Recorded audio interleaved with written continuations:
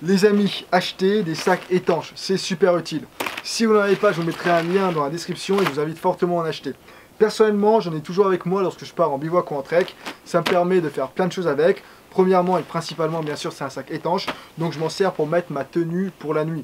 Comme ça, même si les conditions climatiques sont pourries, s'il pleut, s'il neige, je sais que lorsque la nuit arrivera, j'aurai une tenue qui m'attendra et qui sera chaude et sèche.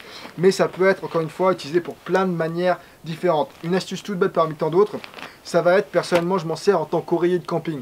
J'y mets mes vêtements, je compresse si j'ai envie d'avoir un oreiller dur, je compresse beaucoup. Si j'ai envie d'avoir un oreiller plus moelleux, je compresse un tout petit peu. Et ça me fait office d'un superbe oreiller pour dormir confortablement. Donc j'ai envie de dire, inutile de vous embêter et de vous encombrer avec des oreillers qui sont faits spécifiquement pour le camping.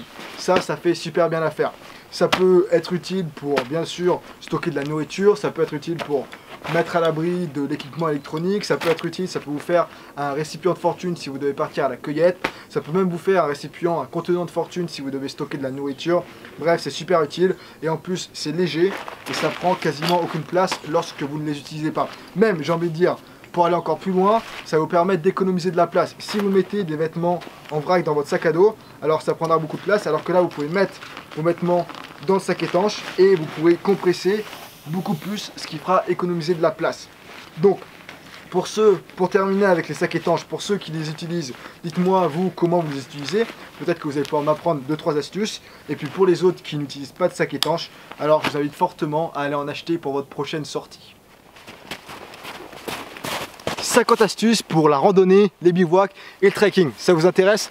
Alors ne me remerciez pas puisque je vous ai concocté une petite vidéo dans laquelle justement je vous donne 50 de mes meilleures astuces qui ont un lien, vous l'aurez compris, avec la randonnée, les bivouacs et les treks. 50 astuces, que ce soit des astuces pour moins vous fatiguer pendant vos randonnées, des astuces vis-à-vis du matériel, des astuces vis-à-vis des différentes saisons, des astuces pour le campement, des choses à faire, des choses à ne pas faire, bref, plein d'astuces qui vont vous permettre de préparer et d'améliorer au mieux vos prochaines sorties. 50 astuces, ça commence à faire pas mal. Et je pense honnêtement qu'il y en aura certaines que vous ne connaîtrez pas. Bref, si ça vous intéresse et si vous avez envie de voir cette vidéo des 50 astuces, il n'y a rien de plus simple, je vous ai mis un lien dans la description de la vidéo, c'est gratuit, vous cliquez sur le lien, ça vous renverra vers une page de mon site internet. Et puis vous pourrez ensuite télécharger puis visionner la vidéo.